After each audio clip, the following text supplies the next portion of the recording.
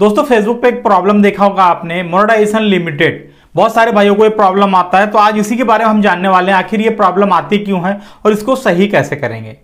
तो सबसे पहले आपको बता दूँ, ये प्रॉब्लम आती है कॉपीराइट की वजह से।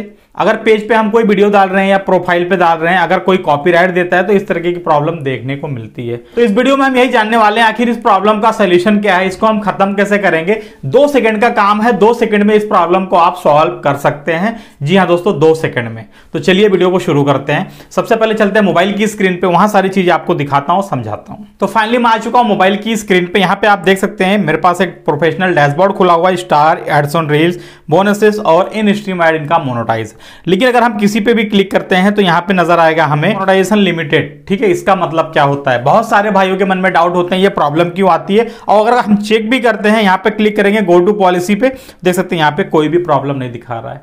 यहाँ पे कोई भी प्रॉब्लम नहीं, क्योंकि सब कुछ ग्रीन है। यहाँ पे भी कह रहा है नो मोनेटाइजेशन वायलेशन मतलब कोई भी वायलेशन आपके पेज पे या प्रोफ़ाइल पे नहीं है।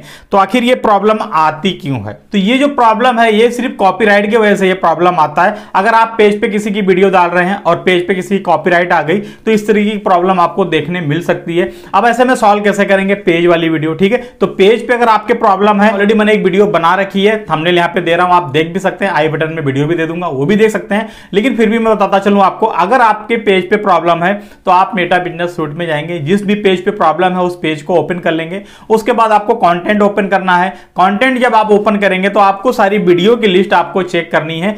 जिस भी वीडियो का डॉलर आपको रेड नज़र आए तो समझ लेना इस वीडियो पे कॉपीराइट है। आप उस वीडियो को डिलीट कर देते हैं तो ये खुद ब खुद प्रॉब्लम सॉल्व हो जाएगी। अगर तुरंत नहीं जाता है तो कुछ ही टाइम में ये खुद ब खुद गायब हो जाएगा। अब बात कर लेते हैं प्रोफ़ाइल की। अगर आपके प्रोफ़ाइल पे प्रॉब्लम है तो प्रोफ़ाइल तो आपको पता है मेटा बिज़नेस वर्ड में आप ओपन नहीं कर सकते हैं।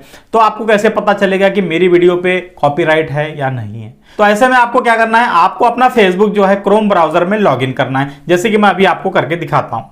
ठीक है, यहाँ से मिनिमाइज कर देंगे इसको। क्रोम ब्राउज़र में जाएँगे। ऑलरेडी मैंने फेसबुक को लॉगिन कर रखा है। आप भी इस तरह से लॉगिन कर लेंगे।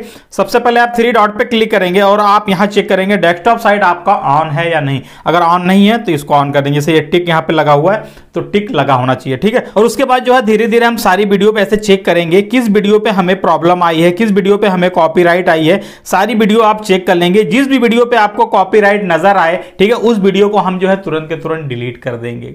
अब जैसे ही आप डिलीट करते हैं, डिलीट करने के कुछ ही देर बाद जो है ये खुद ब खुद गायब हो जाने वाला है। अगर प्रोफ़ाइल पे बाई चांस गायब नहीं हो रहा, जैसे कि इनके। अब हम बात कर लेते हैं इस प्रोफ़ाइल की, ठीक है? इस प्रोफ़ाइल पे ये जो प्रॉब्लम आई है, चार दिन पहले आई है। जो इस प्रोफ़ाइल के ऑनर है, उनका कहना है चार दिन पहले ये प्रॉब्लम आई है, ठीक है? तो हम क्या करेंगे? चार दिन पहले जितने भी पोस्ट हुई है, जितनी भी वीडियो पोस्ट हुई है, उन वीडियो को ही चेक करना है हमने, क्योंकि उससे पहले तो कोई प्रॉब्लम नहीं थी, ठीक है? ऐसा भी हो सकता है। लेकिन ऐसा भी हो सकता है कि कोई पुरानी वीडियो आपकी हो, उस पर कॉपी आया हो, ज़रूर नहीं कि चार दिन पहले आया तो चार दिन पहले वाली वीडियो पे ही कॉपीराइट हो।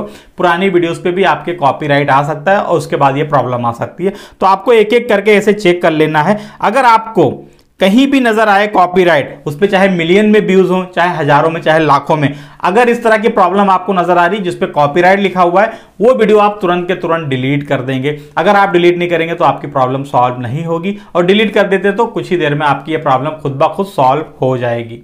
तो उम्मीद करता हूँ आपको समझ आ गई हो। समझ आ गई हो तो आप भी इसी तरह से जो है अपनी प्रॉब्लम को सॉल्व कर सकते हैं। कई सारे भाइयों के मैसेज आए मेरे पास इस प्रॉब्लम को लेके, इसको कैसे हम सही करें तो ये बिल्कुल आसान तरीका है जो मैंने बताया है। इसी तरीके से आप भी सही कर सकते हैं। तो यही था दोस्तों आज की वीडियो में। उम्मीद करता हूँ वीडियो अच्छी लगी हो। बस अच्छी लगी हो तो जाते थे लाइक वाला बटन ज़रूर दबा दें। मिलता हूँ जल्दी आपसे किसी और वीडियो के साथ। तब तक लिए जय हिंद दोस्तों।